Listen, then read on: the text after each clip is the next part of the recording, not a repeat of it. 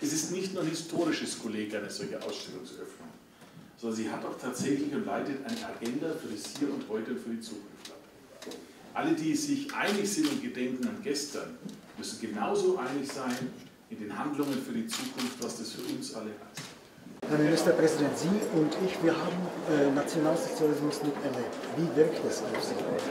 Erschreckend, bedrückend und immer der Verlust von jeder Form von Menschlichkeit und Humanität.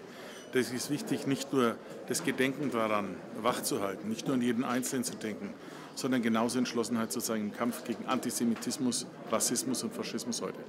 Wie wichtig ist diese Ausstellung?